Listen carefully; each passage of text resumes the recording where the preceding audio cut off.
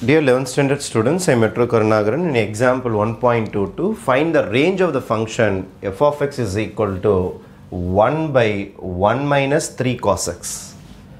Range of the function அப்படின்னா என்ன அர்த்தம்னா இதோடைய ஆன்சர் எந்த வேல்யூலேருந்து எந்த வேல்யூ வரைக்கும் கிடைக்கும் அப்படின்னு கேட்டிருக்காங்க இதோடைய ஆன்சர் கேட்டிருக்காங்க வேறு ஒன்றுமே கிடையாது அப்போ கண்டிப்பாக நம்மளுடைய ரியல் நம்பரில் தான் ஆன்சர் வரப்போகுது மைனஸ் இன்ஃபினிட்டிலேருந்து ப்ளஸ் இன்ஃபினிட்டி வரைக்கும் ஆன்சர் இருக்க போகுது.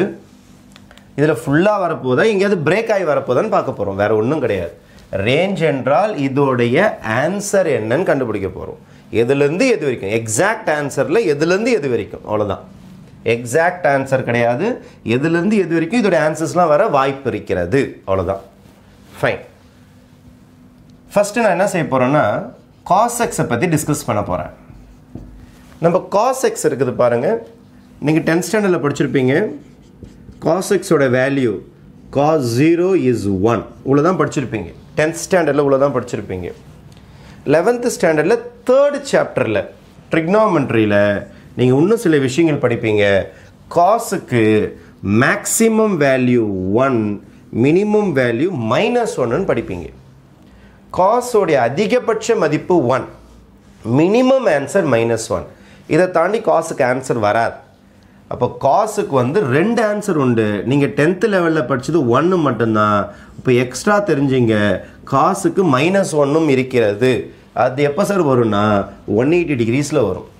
இதுதான் உங்களுக்கு ஜீரோ டிகிரி இது நைன்டி டிகிரி ஒய் ஆக்சிஸ் இதான் ஒன் எயிட்டி டிகிரி இங்கே தான் வரும் மைனஸ் ஒன் இதான் cos zero is one cos one eighty is minus one ஆனால் நீங்கள் தெரிஞ்சுக்க வேண்டியது காசோடைய குறைஞ்சபட்ச மதிப்பு மைனஸ் ஒன் அதிகபட்ச மதிப்பு ப்ளஸ் ஒன் இது லெவன்த்து ஸ்டாண்டர்ட் லெவல் ட்ரிக்னாமெட்ரியில் கற்றுப்பீங்க இப்போ ஃபஸ்ட் சாப்டர் போகிறதுனால உங்களுக்கு காசு பற்றி அவ்வளோ தெரியாது.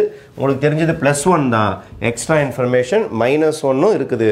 காசுக்கு ரெண்டு வேல்யூஸ் இருக்குது. Plus one minus one plus ஒன்னை தாண்டி போகவே போகாது காசு மைனஸ் ஒன்னை தாண்டி போகவே போகாது. இந்த பக்கம் அந்த பக்கம். மினிமம் மேக்ஸிமம் ரைட் அதுக்கடுத்து நான் என்ன செய்ய போகிறேன்னா இது ஃபுல்லாக த்ரீ மல்டிப்ளை பண்ண போகிறேன் ஜஸ்ட் மல்டிப்ளை பை த்ரீ ஃபுல்லாக த்ரீ மல்டிப்ளை பண்ணால் minus three less than or equal to three cos x less than or equal to three ஒரு இன்இக்வாலிட்டி சிம்பிள் இந்த மாதிரி சிம்பிள் வந்தால் இன்இக்வாலிட்டி சிம்பிள் ஒரு நம்பரால் மல்டிப்ளை பண்ணாலும் டிவைட் பண்ணாலோ அதோடைய சிம்பிள் மாறாது. ஒரே நம்பரால் மல்டிப்ளை பண்ணாலோ டிவைட் பண்ணாலோ சிம்பிள் மாறாது.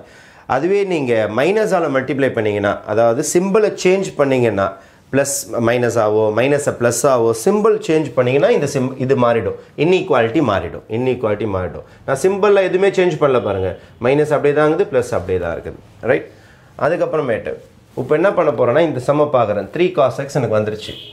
இப்போ நான் என்ன பண்ண போகிறேன்னா மைனஸால் மல்டிப்ளை பண்ண போகிறேன் மைனஸ் ஒன்னால் மல்டிப்ளை பண்ண போகிறேன் இதை பாருங்கள் மைனஸால் மல்டிப்ளை பண்ணால் சிம்பிள் சேஞ்ச் ஆகும். மைனஸால் மல்டிப்ளை பண்ணால் இந்த சிம்பிள் இப்படி ஆகிடும் இந்த சிம்பிள் இப்படி ஆகிடும் மைனஸ் எல்லாம் மல்டிப்ளை பண்ணால் லெஸ் தென் கிரேட்டர் தென் ஆகிடும் கிரேட்டர் தென் லெஸ் தென் ஆகிடும் எப்படி சார் இங்கே பாருங்கள் one is greater than minus five ஒத்துக்கிறீங்களா? ஒன் ரொம்ப பெரிய நம்பர் மைனஸ் ஃபைவ் சின்ன நம்பர் தானே? மைனஸ் ஃபைவ் ரொம்ப கம்மியான number one is greater number one is greater than minus five ஃபுல்லாக மைனஸ் அலமெண்ட்லேயே பண்ணுங்களேன்.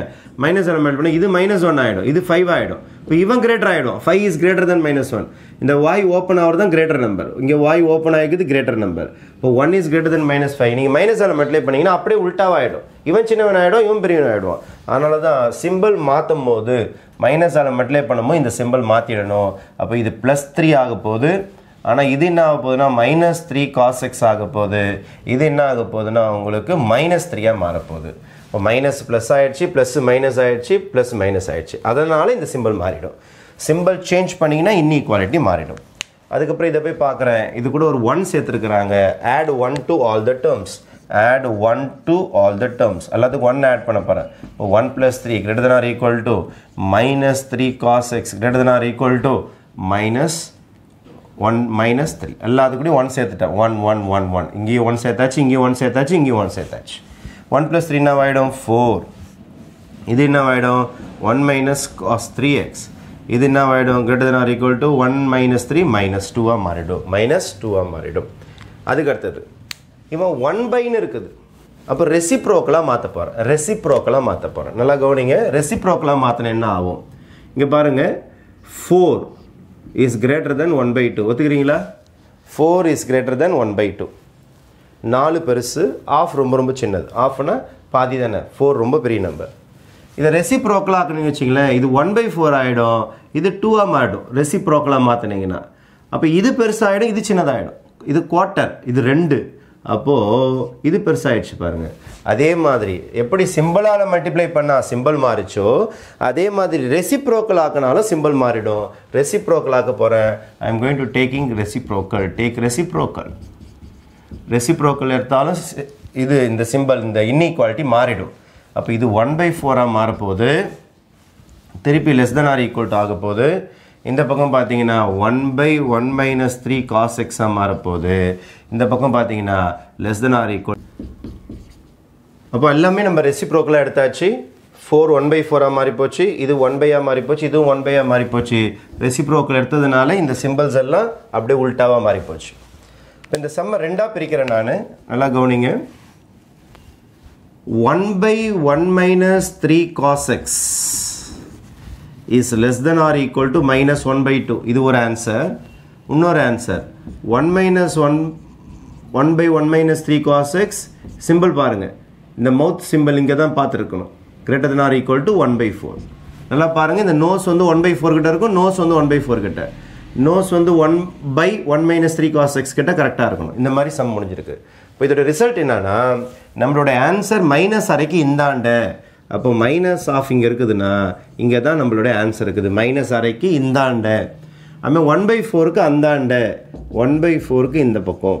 அப்போ இதான் நம்மளுடைய ஆன்சர்ஸ் இப்போ தேர் ஃபோர் நம்மளுடைய ரேஞ்ச் ரேஞ்ச் பார்த்தீங்கன்னா ரேஞ்சுனா சம்முடைய ஆன்சர் எதுலேருந்து எது வரைக்கும் இருக்கிறதுக்கு வாய்ப்பு இருக்குதுன்னா மைனஸ் இன்ஃபினிட்டியிலேருந்து மைனஸ் ஒன் பை டூ வரைக்கும் யூனியன் ஒன் பை ஃபோர்லேருந்து ப்ளஸ் இன்ஃபினிட்டி வரைக்கும் உங்களுக்கு ஆன்சர்ஸ் இருக்க வாய்ப்பு இருக்குது. இதுக்கு ஓப்பன் இன்டர்வல் தான் போடணும்.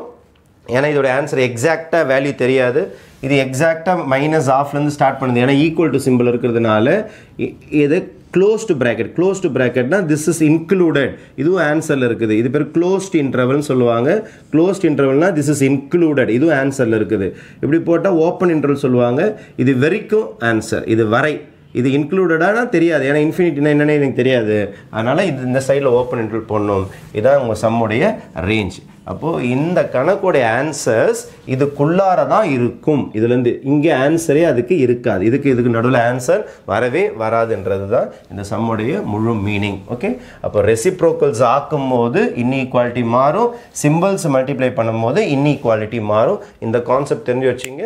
காசோட வேல்யூ குறைஞ்சபட்சம் மைனஸ் ஒன் அதிகபட்சம் ப்ளஸ் ஒன் தெரிஞ்சிச்சுன்னா இந்த சம் ரொம்ப ஈஸி தேங்க்யூ